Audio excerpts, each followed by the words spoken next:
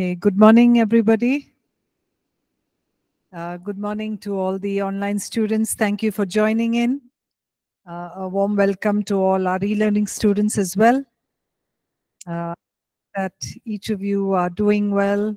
Yes, good morning to each of you. All right, so the last couple of weeks, um, shall we start with a word of prayer? Right? Yeah. Heavenly Father, we thank you for this morning once again. Thank you for bringing us, Lord, to another time of study. Lord, as we look deeper into your word, Lord, we pray that uh, you will open our hearts, bring about the change that each of us need, Lord, in our relationships, in our connections with you. Father, Lord, uh, even as we uh, look into an important chapter, may this, uh, may, may, may what we're going to learn today really bring about a change and a renewal of our thinking, of our uh, personality, of the way that we behave. Thank you once again. In Jesus' name, Amen. Okay. All right. So the last couple of weeks, what have we, we been focusing on?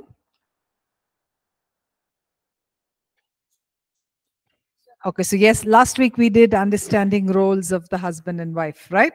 Okay, today we're going to uh, go into um, a different kind of a chapter, and this is just not uh, in view with marriage. Okay, this can be applied to each one of us, whether we're married or not. It's about uh, uh, understanding how we think, how we act, how we reason, and how we behave. Okay, and uh, yes, it, it applies a lot in marriage as well, but nevertheless, it can it works in any kind of a relationship that uh, we may have. So. Uh, when we are interacting with other people, what about us are we, uh, what about us do we use to interact with others? Or when someone else is interacting with us, what do we notice about the other person that makes that interaction good or bad or? So what is it about us that we we observe when we interact huh? Our words? Okay so what happen what is behind the words? Yes your thoughts. What else? Huh okay our behaviors. Sorry intention you said? Uh, intentions okay. Anything else? Huh? Attitudes okay. So we're going to be looking at very uh, three important aspects which is attitude temperament and behavior today. So whenever you interact with a person, it's just not the body that you're interacting with, right? There is something deep within that you're actually engaging with. So even when you're marrying, you're just not marrying a body, right?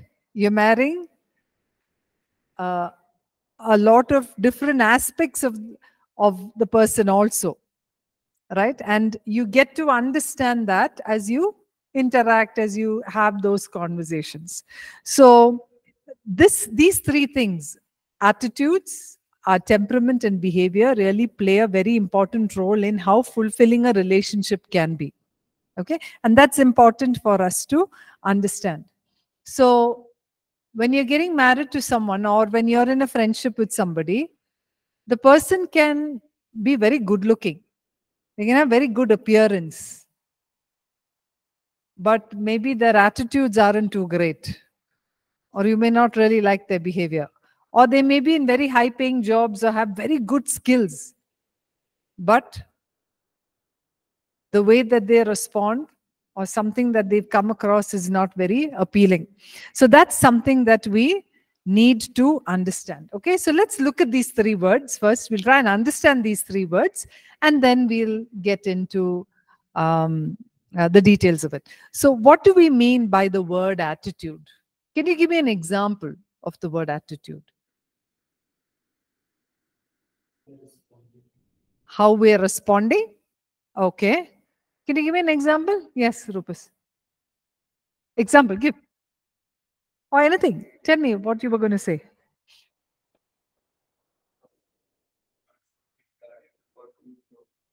What you talk. Okay. All right. Give me an example of what an attitude would be like. How we are behaving. Give me an example. An example. Ah.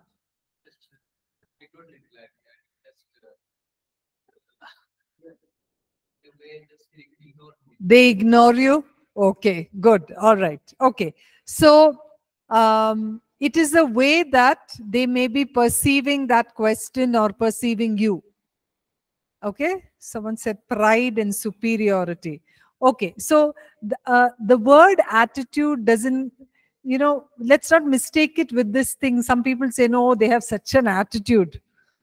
Right? That shows i think that's what deepu is probably saying that pride and superiority. We're not talking about that attitude. We're, not that that uh, reference of an attitude. The attitude we're talking about is the way that we are perceiving or seeing something.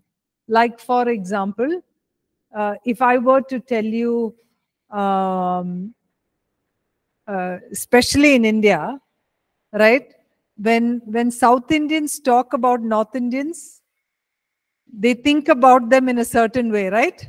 Isn't it? Or when North Indians think about South Indians, they think about them in a certain way. Is that right? Yeah. So that that's what I mean by the attitude. Or let's say you're talking about a certain uh, set of people. Uh, like let's suppose uh, there are different um, professions. When you're talking about doctors, what is the attitude you have about them? it may be different okay all of us may have different but what would it be okay so some may have respect what else would some people have some may say like okay maybe this is a better example when you say policeman uh, fear what are the other attitudes? Secure some will feel corrupt. Right? So we the way that we think or perceive about something is what we call as an attitude. Right? And generally where does our attitude come from? Maybe from our own experiences from the way that we have experienced maybe a policeman before you probably got caught and then he he took off 2000 rupees when it actually had just 500 rupees. So or when you say auto drivers right? They're reckless or maybe you have good experience with auto drivers. so your attitude is the way that you perceive or you think about something. Is that clear? Everyone's clear what attitude is? Okay. What is temperament? Okay. What's temperament? What do you mean by temperament? Sorry short tempered okay uh, okay uh, the meaning of temperament is Okay, it is your general inclination or your general nature. Right? You have a certain nature. Yeah, short being short tempered is one part of that. Okay, but that's not the only thing. But it is your inclination or your general nature. Like, um, hmm, any, I'm try, trying to think of an example. Um, sorry? Okay, okay. When driving, somebody hits the car. Okay? How would we all respond? How would you respond? Don't look at general. How would you respond? You may shout and scream. Then uh, some may just let go, right? Compromise and let go, right? So how you, your general nature of responding to things. Like for example, let's say you're faced with stress. You don't sleep in the night Okay? Some people will be very irritable, right? Some people will be very quiet, right? Some people may just withdraw. So your general nature, how do you how how do you respond to different life situations and life experiences is what temperament is. Okay? Like uh, you're having a get together some people will be in the middle of the uh, of it no they'll be jumping and laughing and howling and in the middle of that party, but there'll be some who will be quiet at the corner. So it is your natural inclination. Clear? Yes, I hope online students, I hope that's clear. The next one is behavior. What's behavior? Behavior. Yeah. Behavior is how you act, your actions uh, really show what your behavior is. So there are these three important things of our attitude. What is our attitude? The way we are, way we think or we perceive about different things. Our temperament is our natural inclination towards things, and our behavior is the way that we act. Okay? All right. Did someone have a question among the online students? No. All right. So, so can you imagine when two people with uh, with different attitudes and temperament and behavior come together, what would happen? There can be conflicts. Sorry? There can be differences, right? So when we are dealing with somebody, we first of all need to understand how we behave, how we act, how we respond. And at the same time, we need to understand how the other person uh, acts, behaves, or thinks. It's just not enough, like in a marriage, especially, it's just not enough to know how you think and you act and you behave. It is important to understand your spouse as well. Right? Why is it that they're saying the thing they're saying? Why are they behaving like that? Why are they acting like that? It's important to understand. And that's what we are going to be looking at. So, very often, what are we faced with? There are some negative attitudes that we may have. Right? Let me give you very common examples. Maybe in a marriage, uh, not that I'm biased to the men, okay? I'm just giving you a very common example. The men come with an attitude of, I don't have to do any housework. Right? Maybe all of you boys are don't have that. Okay, I'm just saying general. Okay, all uh, as a as a man, I don't have to do any housework. It's all my wife's responsibility. What will happen? It is going to cause a concern there, right? Okay, or generally now uh, women. I'm not. There's only Diksha here, and maybe some women here. I, I'm just telling you what gen. Now the women come with an attitude of whatever happens, you know, my husband should not listen to his mother. Right? So that's the attitude maybe sometimes you come with. And so what happens? There are going to be clashes. Is that right? Yeah. So negative attitudes will influence the way our marriage goes. Right? And so that's that is that's why it is very important to uh, address some of those attitudes address our uh, personalities and address our behavior. All right? Okay. So are we all here together? Yes? Okay. So what we're going to do is learning how to, first of all, understand our own attitudes, our temperament, our behaviors, and how we can understand that of our spouse. So let's look at attitudes. What kind of attitudes should we as believers have? we as believers should have Christ like attitude, grow up in the likeness of who Christ was. So when he walked the earth, he demonstrated many things in the way he demonstrated how to act, how to think, how to behave. Yes? Right? And, and scripture is full of us uh, of showing us what kind of an attitude does God desire of us? So the challenge for us is to walk like Christ walked. 1 John 2 6. So this means it um, it even affects things of our marriage. So we are called to have the mind of Christ. Each of us are called to have the mind of Christ. So we come to the place of being like Christ, having the mind of Christ. So let's look at, there's a lot of scripture that we can look back to. And so maybe we'll just read a couple to find out some of the attitudes that, that you know, it is important for us to begin to imbibe. Uh, let's read Philippians chapter 2, verses 3 to 5. Let's read that and then we'll maybe take one more uh, verse. Philippians chapter 2, verse 3 to 8. 5 or 8. Don't do any, anything from selfish ambition or from a cheap desire to boast, but be humble toward one another, always considering others better than yourselves, and look out for one another's interests, not just for your own. The attitude you should have is the one that Christ Jesus had.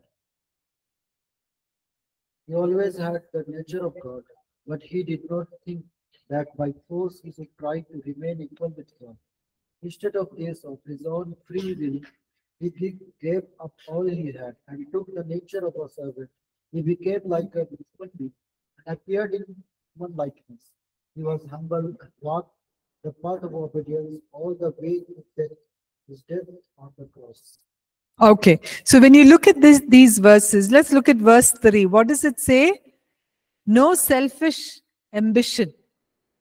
That is to be selfless. Right? How does that play out? Maybe you're all sitting here. There is a nice big cake over here. One piece is bigger than all the others. And you're really hungry. So the desire is to let me get that big piece, right? But what does it say here? Selflessness, not looking after your own self or your own interest, but that of the interest of the other. Now look at these things in marriage. I mean these things in marriage also. There'll be two pieces of cake, one big, one small. Or that, I mean, this happens in every home. You know, in the chicken curry, there is that leg piece and there is the neck piece. so who gets the neck and who gets the leg right so isn't does that reflect our attitude it does no? I need to get it. I'm hungry. I mean why can't i eat? I was working the whole day. Uh, you know he was sitting around doing nothing. I should eat it. So it actually reflects our attitude. These are simple things but they actually reflect our attitudes. Yes? Okay let's look at another one. It says in verse 3 itself be humble towards one another always considering others better than yourselves. Be humble and consider others better than yourself. So, you and your wife or your husband and you have had an argument. Why should I say sorry? Let him come first. He's the one who made the mistake, no? So, what, is, what does it say in scripture here? Be humble. So, what does that mean? Say sorry first, right? Or uh, consider others better than yourselves. No, I know all of this. You know nothing. You keep quiet. So these are our attitudes that we bear. All right. Uh, verse 4 Look out for one another's interests, not just as your own, not just for your own. Verse 7 He took the nature of a servant. Right? So these are all Christ like attitudes that you and I are called to have. And, and not just in any relationship, but especially in marriage. Okay, let's look at um, hmm, uh, Philippians chapter 4, verses 4 to 8. Can somebody read that? Philippians chapter 4, verse 4 to 8. May you always be joyful in your union with the Lord. I say it again, rejoice. So show a gentle attitude towards everyone. The Lord is coming soon. Don't worry about anything, but in all your prayer, ask God for what you need, always asking Him with a thankful heart.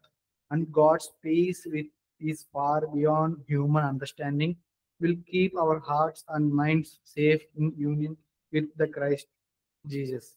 In couns- consolation, In My- conclusion, my friend, fill your minds with those things that are good and that deserve praise, things that are true, noble, right, pure, lovely, and honorable. Okay, so there are many things over here. It says to rejoice, to have a gentle attitude, to not worry, to enjoy the peace of God, to fill your mind with good things.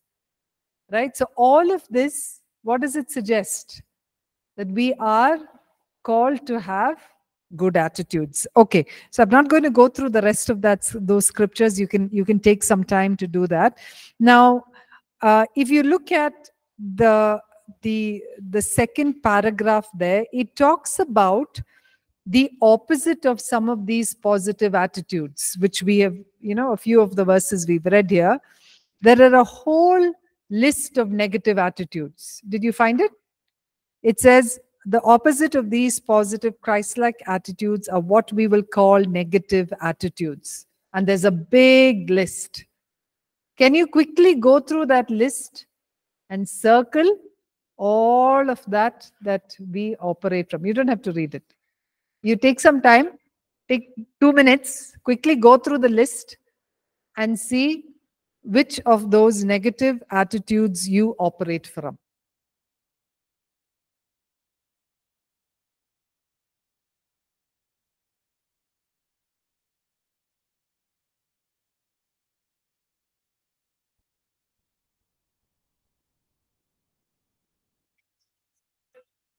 Sorry? Intolerance. Some something that you cannot stand. You cannot tolerate something. You don't like it, so you're not able to stand it.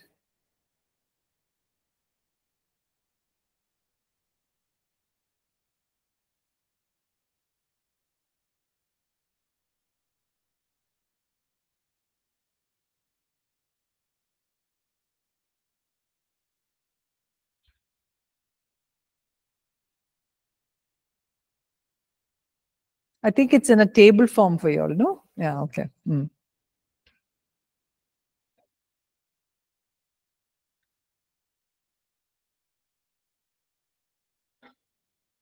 Okay, how many of us do not have any negative attitude?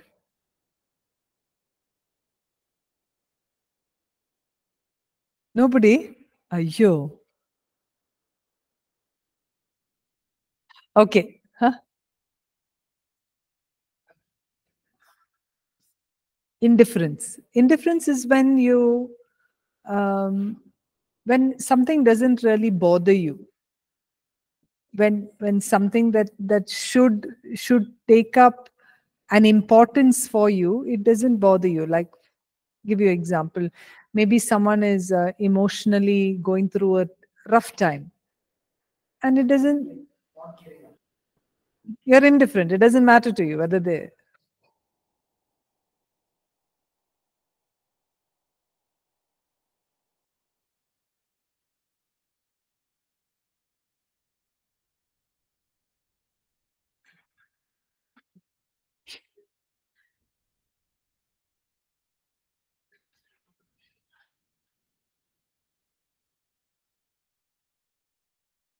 okay? So you i'm sure there are many many of that that we really need to work on isn't it? Okay. So what are the effects of these attitudes? What happens when we come with negative attitudes? Does it affect us in what how we uh, how we see things? Yes it affects us in how we do things. It affects us in what we say so let me give you an example. Uh, let's say you you're always negative, and someone, your wife or your husband, makes a dish, makes something new.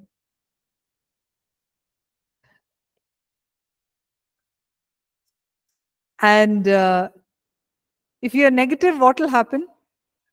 Huh? You will say, okay. You could it could have been better. Right? Or you may you may say ah i think my mother makes better than yours. Right? When you come with that attitude of negativity it is going to affect your experience isn't it? You're not going to enjoy the meal neither is your spouse going to be happy.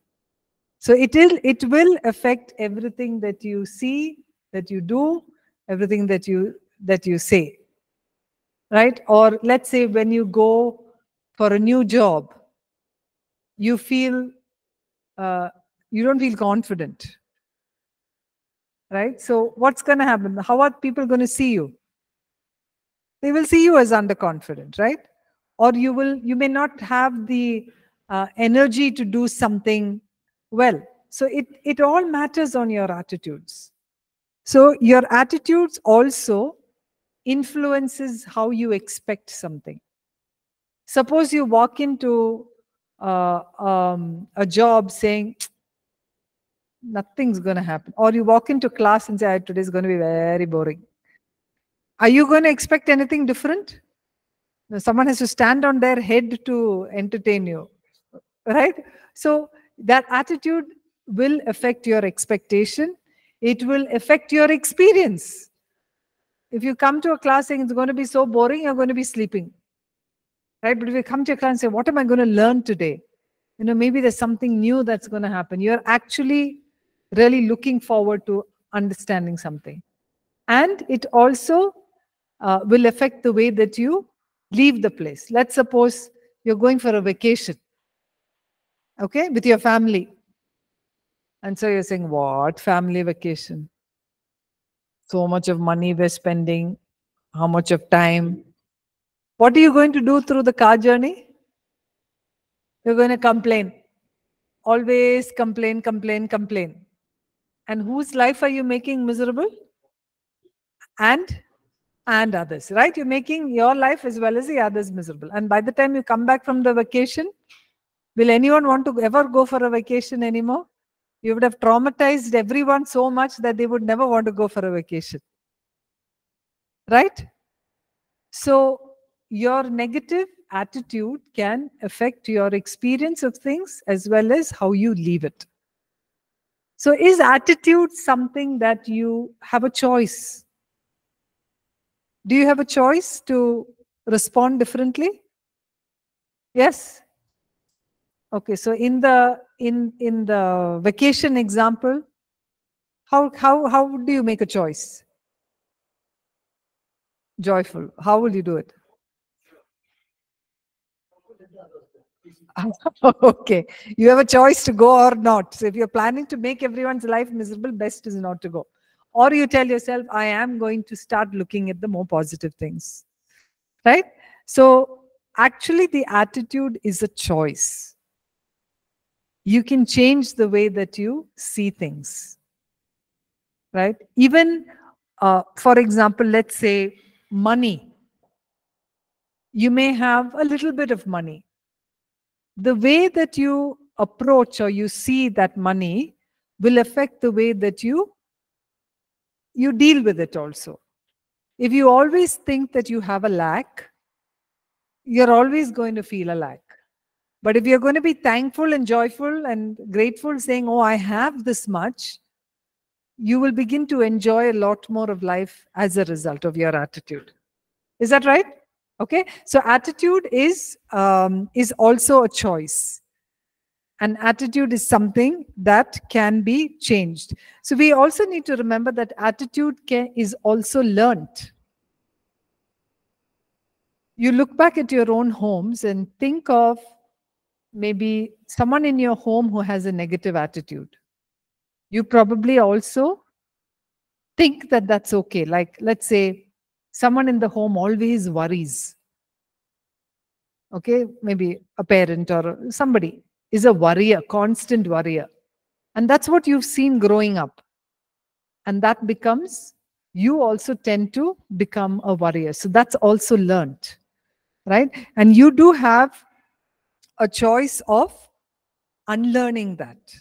Okay so that's what we're talking about about uh, having christ-like attitude. And we will we will go into how we can we can change that. Okay so the the the truth is that when we recognize there are some attitudes that are not helpful for us is not christ-like and when we open ourselves to god he is there to help work that with you.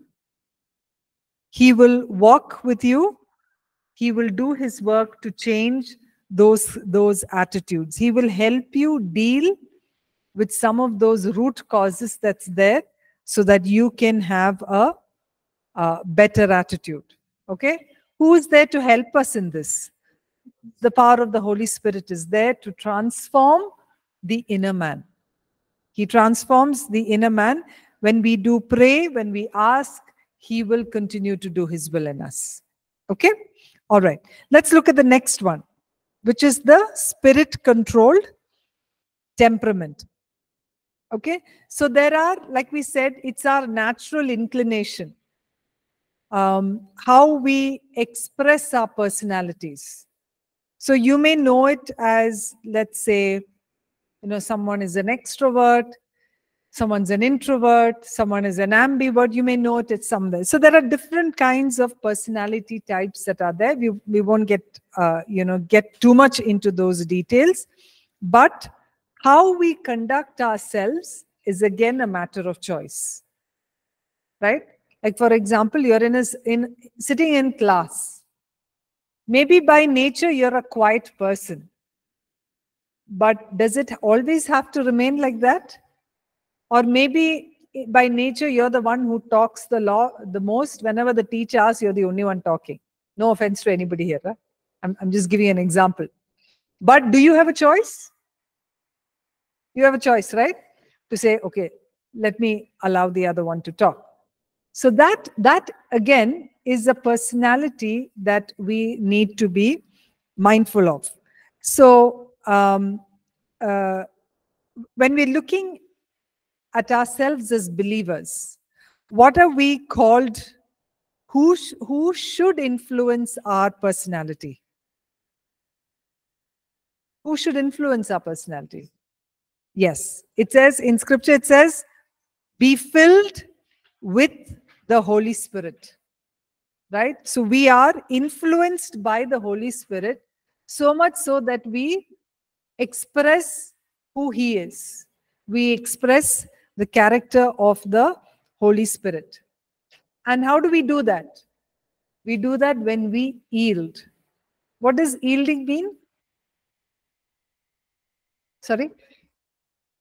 Yield, yield. It's to submit, it's to give ourselves to it and say, Holy Spirit, help me respond in a way that is that that is good. So when we yield to Him, it's His nature, His character, His strength is expressed through us. Okay? All right. So remember that uh, when, if this cup had coffee in it, the more that you shake it, what will come out? Coffee only will come out. No water won't come out, right?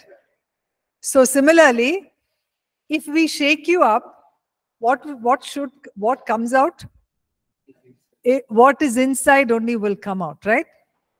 Right? And how do when is the shaking happening? When does shaking happen? When in situations of stress is when we really know whether the spirit is within us or whether Jean George is within me, not within you is your own name, right? But it really shows. It is in that moment of real shaking that only what you are filled in will come out. Right? An apple tree will only bear apple, it will not bear gooseberries or vice versa, right? So, but and and that's what we we we are called to do to fill ourselves with the Holy Spirit, to be influenced by the Holy Spirit, to yield to Him so that we bear fruit. What kind of fruit? Galatians 5 22 to 23, which is love, peace, and joy. joy, peace, patience, Love. kindness, goodness, faithfulness, self control.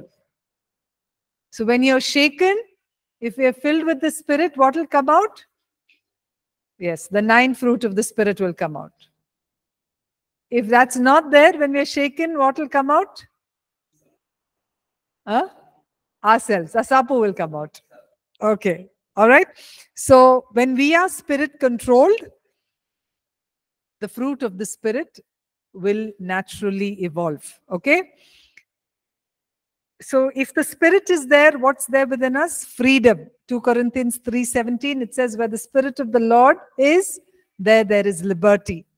Okay, so the Holy Spirit is the one who brings about that righteousness, the joy and that peace. Okay, sorry. I think I missed a few questions here. I'm just going to take some time to take questions. Okay, Diksha, you asked a question which we looked at in the previous session. I will talk to you in person. Okay. Um, what is condescending and cynical? Uh, Lucy, condescending means to look down on somebody. Okay, as if they were nothing. You know, when you talk down on something, that's what condescending is. Cynical is when um, you treat everything with with with scrutiny. That is, um, you're always looking at the negative part of things. You're always looking at that which is you're looking at things with suspicion. That's what cynical is. Okay. All right. Okay. Next, we go to the behavior. So, how do we judge our behavior? How do we judge our behavior? Huh? Through our actions? Okay. So today morning, when you uh, before you came to go to the come here, let's say someone sat in the bathroom for a long time, you wanted to go. How did you respond? You kicked the door? okay. You kicked the door. Huh? You called out, or you must have written one message over WhatsApp. You know, that was not very pleasant and kind. Yeah? Correct? So, our behaviors definitely again express what we are full of. So, what should our standard of our behavior be? What is what should be the standard? Where do we get the standard of our behavior? By the word of God, yes. So, whatever, however we behave, we should be governed by what the word says. Because if we love God, we will obey his commandments, right? So, as a result, we will also behave in a way that shows love, that shows kindness, that shows patience. So, how are we to conduct ourselves? Let's read Colossians chapter 3, verses 12 to 15. Colossians 3 12 to 15. You are Can I read, sister? He loved you and chose you for his own. So then you must clothe yourself with compassion, kindness, humility, gentleness, and patience. Be tolerant with one another and for, forgiven one, uh, one another whenever any of you has complained against someone else. You must forgive one another just as the Lord has forgiven us. And to all those all those these qualities added love which binds all things together in perfect unity the peace that christ gives is to guide in you in the decisions you make for it is to this peace that god has called to you together in the one body and be thankful Okay, so how are we to clothe ourselves? What does it say? Compassion. Good morning, everybody. Kindness. Okay, how are we to clothe ourselves? Humility, gentleness, patience, tolerance, forgiveness. Yes? Thankfulness. So there are so many things that we are called to clothe ourselves with. Okay? Okay, how can you be kind to somebody today?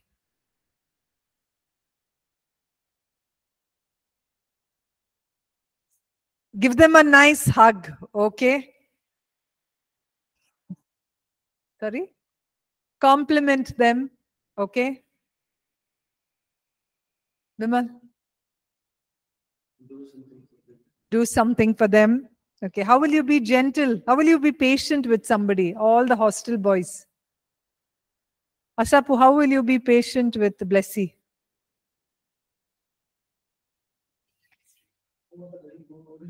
Both are like ice cubes, huh? Okay, they're patient. Is it?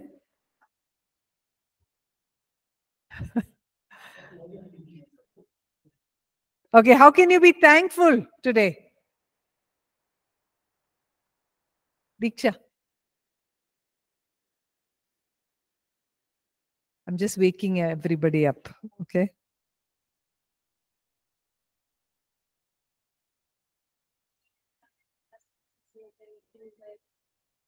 Okay, you can appreciate somebody today. All right. So, is this again a choice? Yes. It's an obedience, it's a choice that we we live this way. Right? So sometimes it's easy to do things when they are nice to us. What about when they aren't nice? What does scripture say? Do not repay evil for evil, but pay them back with a blessing. That's what it says. So today, when someone cuts you on the road, instead of you know cursing them, you say, hey, brother, I bless you. Right? So that's that's what we are called to do. Right? But now again, look at all of this in the light of marriage. She promised to iron your shirt, but she didn't, and the current went. What you'll do? Yes, Asapu, what do you say? You have to accept the situation, Asapu. Okay. So what will you tell your wife? Huh? What? Okay, no worries. okay. Right? So it's a choice. All of this that we looked at today is a choice of how we are willing to behave in the way that the word asks us to do. And we can bring about a hundred examples and yet be look back onto the word and say, okay, this is what is expected of me. All right. Okay. So what kind of attitudes are we to have? Christ like attitudes. Okay. What kind of a temperament? We need to be yielded to that of the Holy Spirit. And the behavior should be of the word. Okay? So Christ like attitude, spirit controlled temperament, and the word governed behavior. Okay. So there may be times that, uh, and there are going to be uh, situations where where we are not over here we really don't have any of this so how do we come to a place of uh, that that that place of transformation that place of change how can our attitudes become more christ-like how can our temperament be more yielded to that of the holy spirit how could our behavior be more aligned to god's word okay we all need to begin somewhere and the best place to begin is to repent. That's the first place to know that we have sinned. We have we have we have fallen short of God's glory. Recognize that uh, we have been wrong. Acknowledge it, and be willing to step forward into a place of transformation and heal- healing. Okay. So how do we do that? We're going to be looking at four uh, truths which we should uh, four truths that we can engage in in order for us to reach that transformation out of these four truths the first two which is the power of the cross and your identity in christ is already done for you. It's already done. It's established. It's completed. There's nothing more you have to do. You only have to believe and live by it. The second two, which is the renewing of, of your mind and walking in the spirit, are things that are ongoing, that you need to do on a regular daily basis. The first two is the power of the cross and your identity in Christ. It's in your book. It's a completed work. It's not something that has to be done, it's already done for you right it's in its It's already established for you. You only have to believe it and live by it. The other two, which is the renewing of your mind, as well as being walking in the prompting of the spirit, is something that is ongoing, that you continue doing on a regular basis. Okay? All right. We will go through the four in the next hour. Is there any question before we close? We have, we have around three minutes. Any question?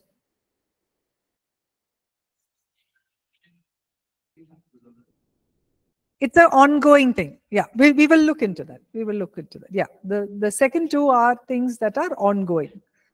It's uh, it's that progressive sanctification, things that we are progressively doing to keep ourselves uh, holy in our attitudes, in our behavior, in our temperament. It should be done by us. So our efforts. not say. Yes. Any questions?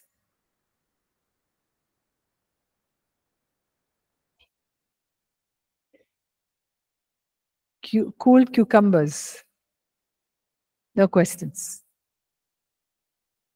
Uh, online students, our audio is not working. Oh, really?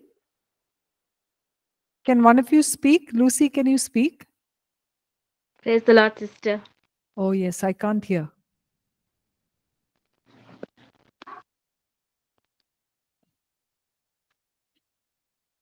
The speaker. Yeah, Lucy, can you speak now? Yes, yes, sister. Hello.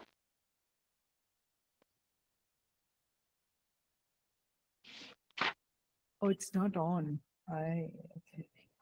Yeah. Sorry, sorry. The, Yes. the the plug was switched off. Yes, Lucy, go ahead. No, sister. Gertrude sister was uh, trying to speak out during the session. It was not. So I just g- uh, hear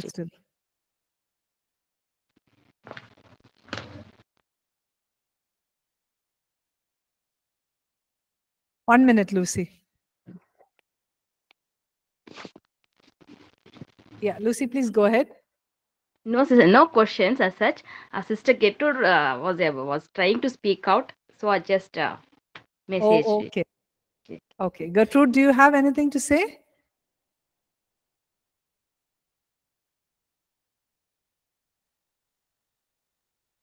Sister, I was uh, trying to read the Bible verse, plus I was uh, saying a few things, but I realized you couldn't hear. I'm so sorry. No, it's okay, sister. We'll try and fix this uh, in the break. Yeah. Okay. All right. Okay, thank you, you. sister. All right. We'll break for a, a class, uh, for, a, for a break, and we'll come back in one hour. Uh, sorry, in 10 minutes. sorry, we come back at 11 o'clock.